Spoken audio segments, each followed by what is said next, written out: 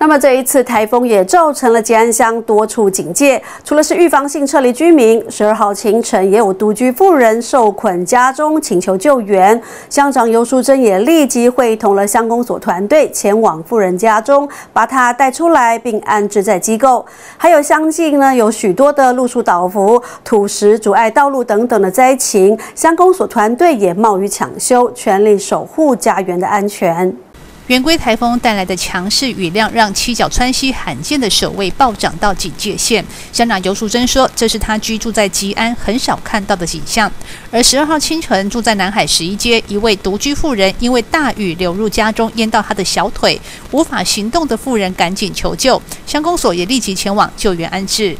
对对，有淹水，淹了，他到他的那个那个这里。淹到脚踝了。对，淹到脚踝这边了。哦，那你家里有烟吗？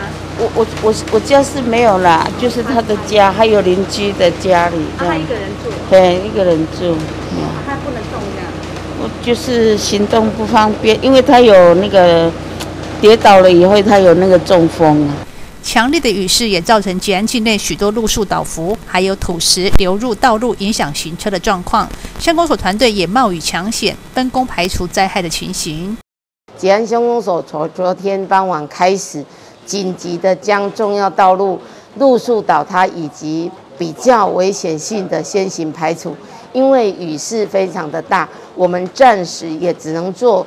抢救的这样的一个危机区域的，先来做执行，等到雨暂歇之后，再来做环境整个修复维护的工作。我相信呢，这十八村的村长跟我们的村干事跟在地的通报非常重要，所以我们的联络网紧急的成立，而且呢，我们也成立了二十四小时的抢灾跟救灾的通报的联系的。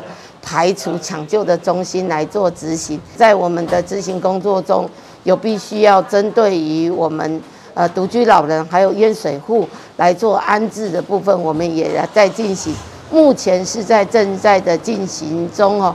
所以乡亲如果有遇到必须要协助的，赶快打我们的专线，然后一定会来及时做好维修跟维护的工作。每当台风来临，吉安乡公所除了启动预防性的撤离机制，也视察抽水机组的运转功能。